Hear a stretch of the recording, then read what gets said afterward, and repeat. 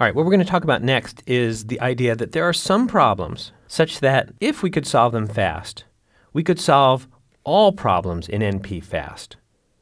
And we call those problems the NP hard problems.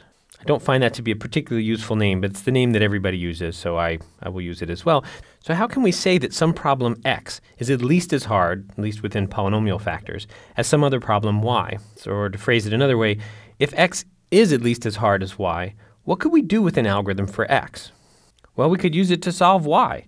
In fact, that's maybe what we mean by saying that x is at least as hard as y, that we can use a solution to x to solve y. So the basic picture that you can have in your head is something like this. So imagine that we want to solve an instance of problem y.